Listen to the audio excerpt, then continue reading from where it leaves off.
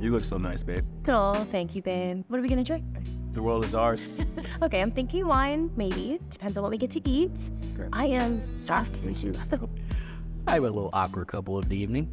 Got some very unfortunate news. We're out of food. Get out. what? Uh, no, no, no. Come, come back. babe, babe, babe, calm down. Calm down. Why did you bring me here? Yelp said it was great. Yo, how many reviews did it have? I, I don't know. It's like one night, one, one nice night. Oh, my Wait, wait, wait, wait, wait, stop. God. This is your fault. What? I mean, if you would cook sometime, wouldn't even be in this. Excuse me. If I would cook more, I work. Why don't you cook? You, you work, but I take care of the kids. That's exactly why you should be cooking.